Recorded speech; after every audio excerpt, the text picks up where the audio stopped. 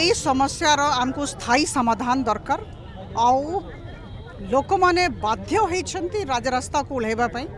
ଆଉ ଆଜି ମୋତେ ଲାଗୁଛି କେବଳ ୟାକୁ ବିଜେପିର ଆଜିଟେସନ୍ ନ କୁହାଯାଉ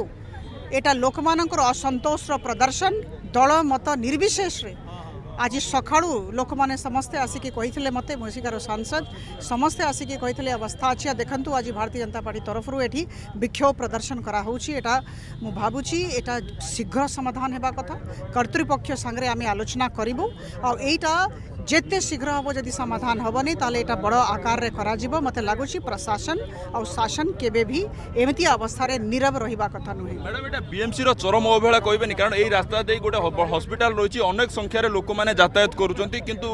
ଯଦି ଦେଖିବା ଏଇ ରାସ୍ତାରେ ଯଦି ଏଇଭଳିଆ ଅବସ୍ଥା ହେବ ତେବେ ଏଇଟା ବିଏମ୍ସି କର୍ତ୍ତୃପକ୍ଷ ଚରମ ଅବହେଳା ବୋଲି କହିବେନି ମୁଁ କହିବି ଶାସନର ଅବହେଳା ମୁଁ ବିଏମ୍ସିର ଅବହେଳା କହିବି ନାହିଁ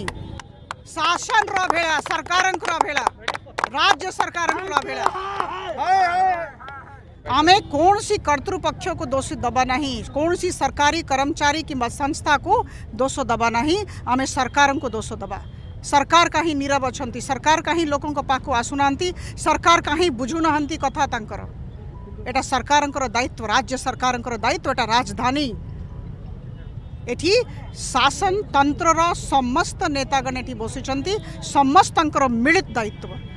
तो ସେଥିପାଇଁ ବର୍ତ୍ତମାନ ଏଇଟା ମୁଁ କୌଣସି ସରକାରୀ କର୍ମଚାରୀ କିମ୍ବା ସଂସ୍ଥାଙ୍କୁ ଦୋଷ ତାଙ୍କ ଉପରେ ଦୋଷାରୋପଣ କରିବି ନାହିଁ ଯାହାଙ୍କ ସାଙ୍ଗରେ ବର୍ତ୍ତମାନ କଥା ହେବାର ଅଛି ଆମେ କଥା ହେବୁ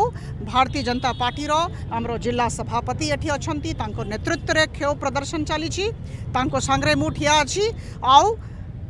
ମୁଁ ଭାବୁଛି ଏଇଟା ସମସ୍ତଙ୍କର ଅସନ୍ତୋଷକୁ ସେ ଶାସନ ସାମ୍ନାରେ ରଖିବାକୁ ଚାହୁଁଛନ୍ତି ଏ ଦିଗରେ ଆମେ ନିଶ୍ଚିତ ଭାବରେ ବହୁତ ଶୀଘ୍ର କଥା ହେବୁ ଆଉ ୟାର ସମାଧାନ କରାଯିବ